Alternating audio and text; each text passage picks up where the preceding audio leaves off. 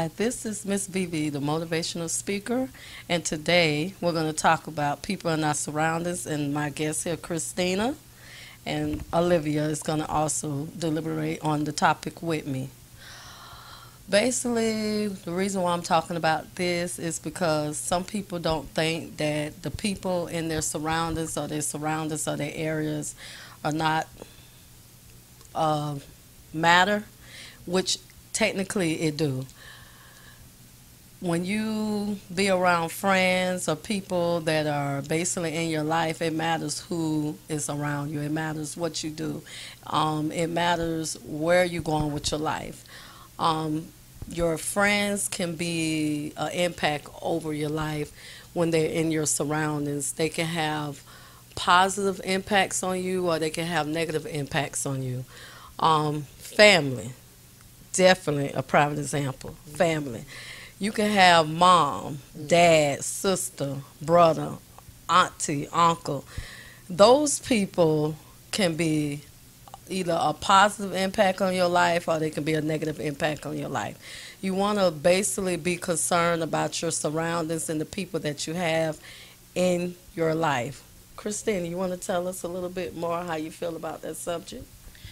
Well, thank you. Um, absolutely. Your circle, the people closest to you, need to be the ones that are going to support you, up, uplift you, but at the same time, at the same time, they're not going to be afraid to tell you when you take a misstep. They're not going to be afraid to criticize what is wrong in your behavior, your actions, even what you're planning.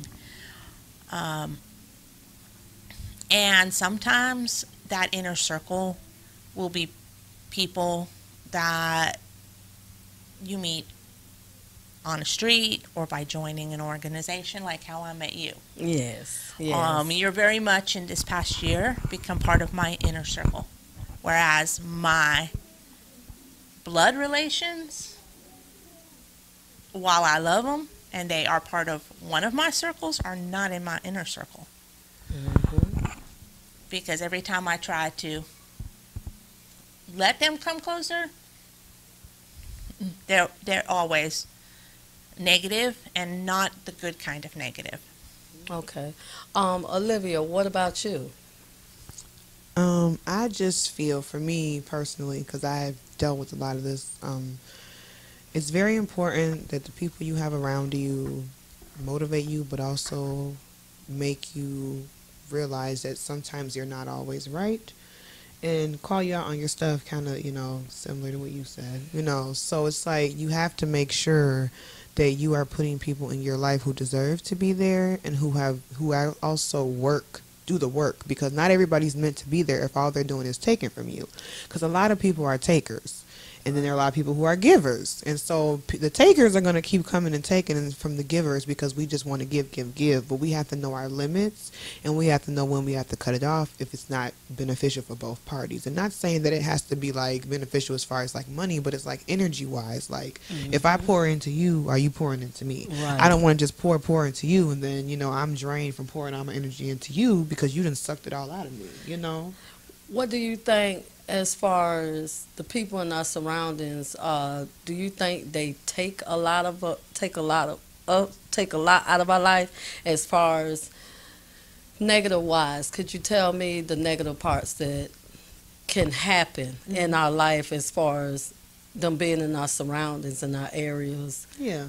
So when you're around like sometimes you know toxic people or people who are not good for you, you sometimes get you go you start going through like bad things start happening because you're Mhm. trying to prevent bad things from happening to them and you're jumping in the way of their karma is what people say. You know, don't get involved in somebody else's, you know, situation because you never know what they've done in their past to go through those things. So when you start interfering, then things start happening to you because you're allowing their stuff to now merge into your life and so now you're taking on their stuff and your stuff so that's the Mhm. negative part because then it starts to weigh you down you get depressed you get all sad you don't want to do nothing Mhm. so it's like you have to really be careful. So they just suck the whole life out Yes, of you. Just literally, suck everything out of you. literally, You you just now you in a spot in your life where you just you ain't trying to do nothing. yeah And you just sitting there and you not doing anything with your life. You just being a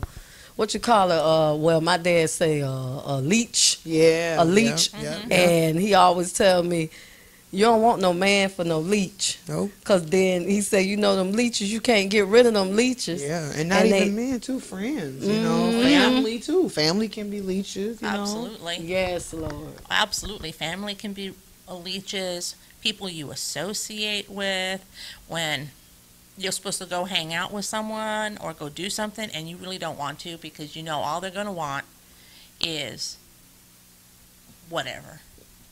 Mm-hmm. And they're gonna put you in a position where you be in a downfall in your own life. And I can basically say that I have basically experienced some parts of my life where whew, people was no good for me. Mm-hmm. And then you also something else that I always repeat to people being your biggest mm-hmm. cheerleader Yes. you know, in life, far as your surroundings and the people that you have in your life. Because if you be your biggest cheerleader, then you won't have to worry about a lot of the other things that are going on in your life because now you're uplifting yourself, you motivating yourself, you mm-hmm. keeping your peace of mind.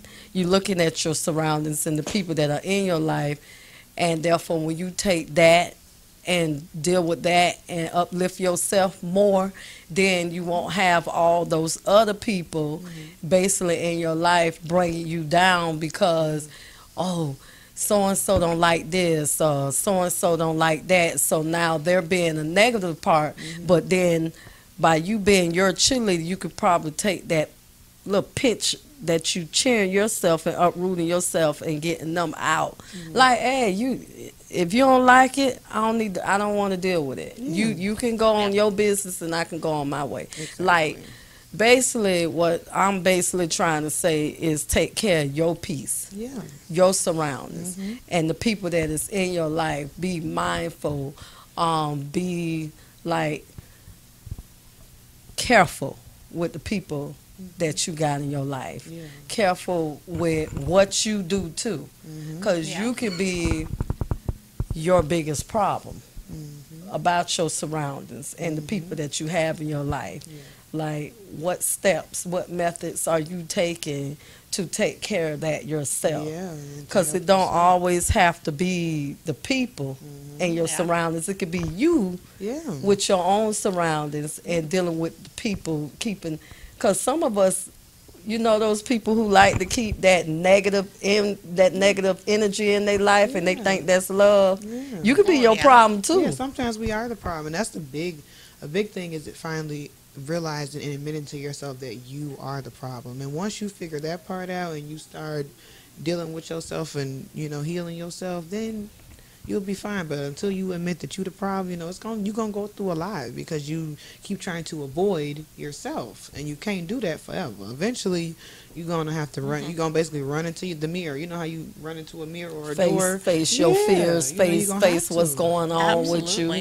you and and trying to correct it so that you won't have that problem Mm-hmm. and you know it's a lot of people out there they will not they will not accept what the problem is Well, that's all on- in lines with self-worth. Yeah. If we don't have, if we don't hold ourselves in the proper esteem and the proper self-worth, we're going to be our worst enemies because we're going to gravitate towards that negative energy. We're going to gravitate to those people that are there to hurt us, mm-hmm.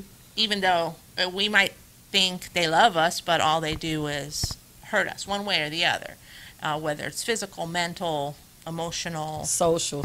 Physical. social. Yes lord.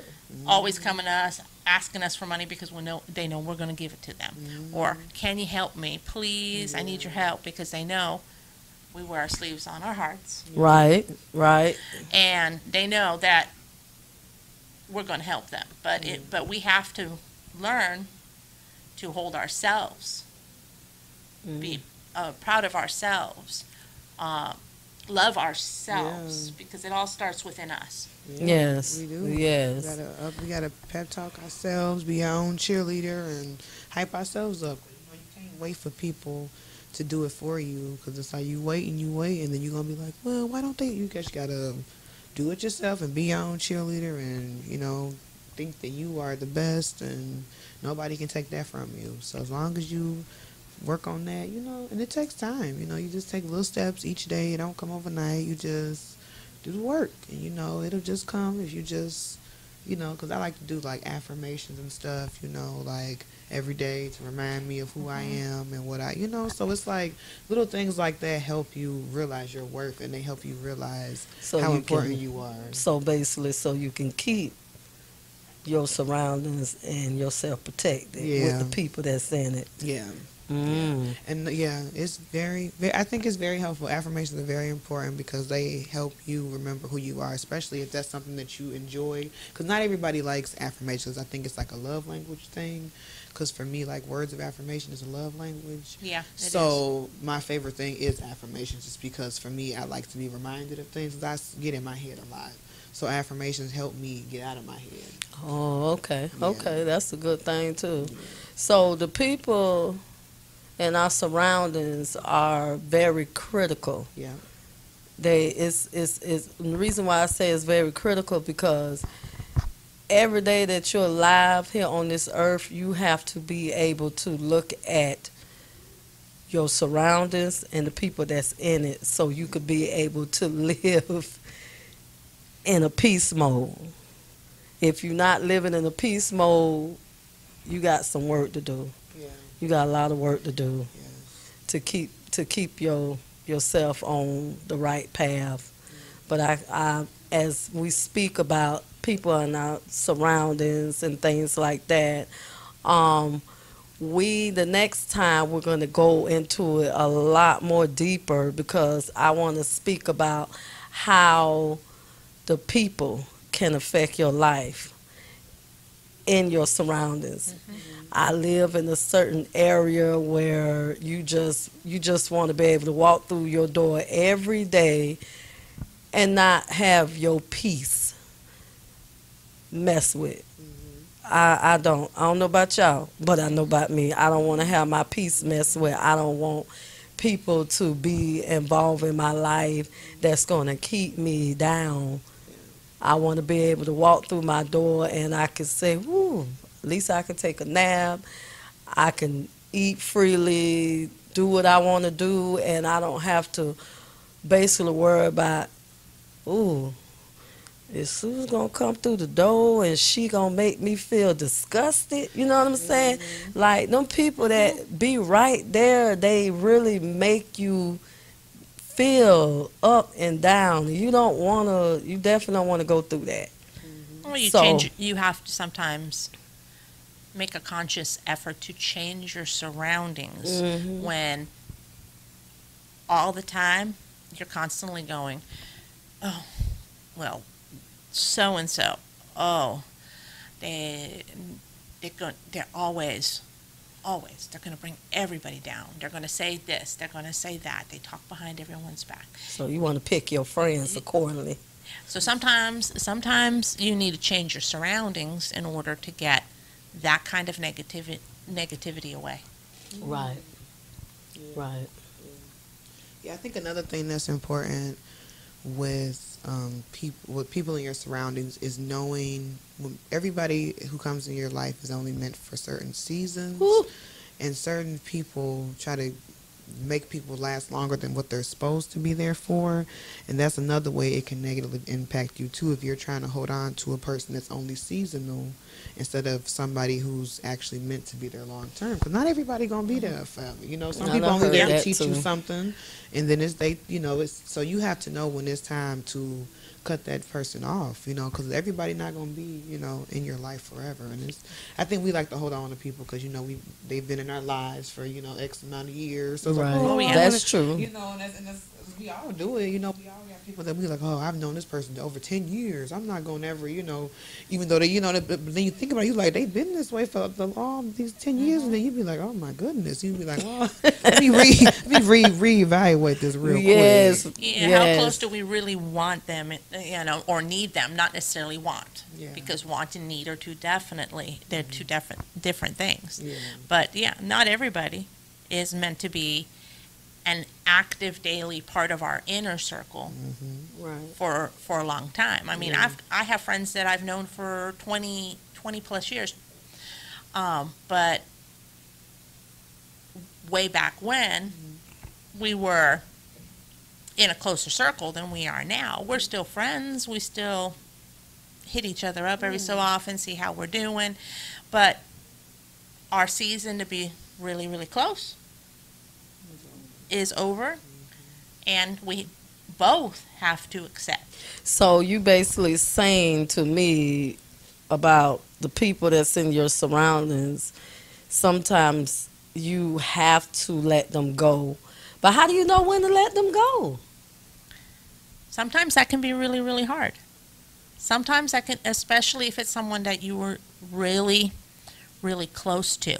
But this is what you have to think about with that is are they now affirming you, supporting you, offering correction when it needs mm-hmm. it, or are they bringing you down? Whether they mean to bring you down or not. Because you could have someone that you mm-hmm. care the world for. And they they they say they care the world for you, but they're constantly bringing you to tears. So they're taking things away. they're that's- taking your peace, they're taking your Mhm. joy, Energy. they're taking that positive energy away from you. And even if they don't see the tears, you could be driving down the road in a car with tears streaming down your face because you care so much about them. But at the same time, they're ripping you apart. Then you need to and it's a it's a difficult process because I've I've had to do it with people.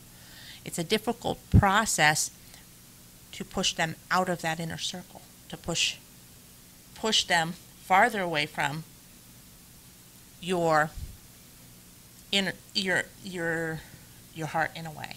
Right. You're not completely pushing them out because they've you've known them forever and they've not